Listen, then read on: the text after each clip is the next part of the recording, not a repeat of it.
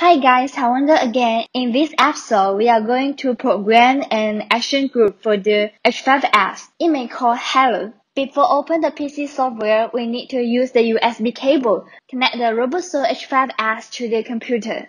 Then the eyes turn to green.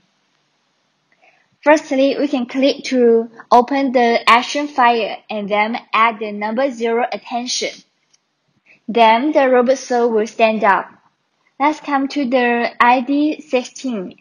It's the servo on the shoulder. Then click the action. The next one is ID 15. Please pay attention to the movement of the H5S when you drag the corresponding servo slider. Don't forget to click the add action each time when you move it.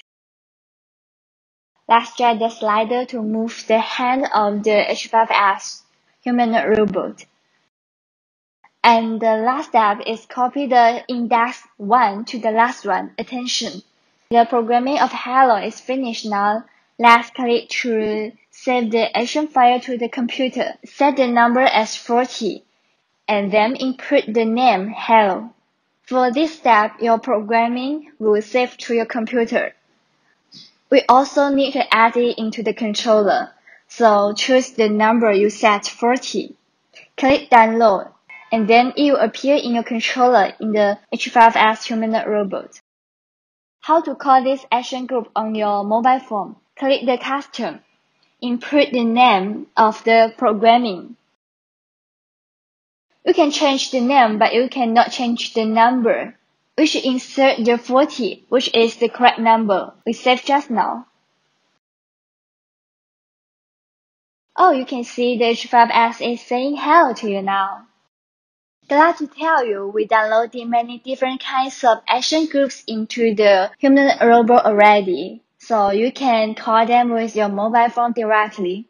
But how to call it, I will show you. Such as we want to call the number 6 rolling backward. Turn the switch, click the custom, and add the name of the action group, rolling backward. Then write the action group number as number 6. It must be the same as the document. Then click here to code it.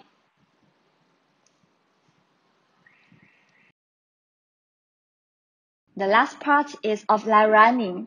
We all know that there is an offline running button on the humanoid robot. Use the USB cable to connect the humanoid robot to the computer. And then we can choose any action group as the offline running action group such as the laughing. Please pay attention to the number. We must choose the number as 100, which is set as the offline running action group. And then click download. It will appear in the controller. Press the offline running button. The H5S will run the action group once. If you press it over 3 seconds, it will keep running the laughing. It will stop if you press it once again.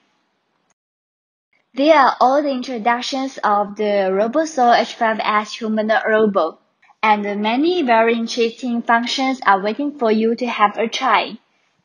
Thanks for your watching. Hope this video is helpful for you. Have a good day.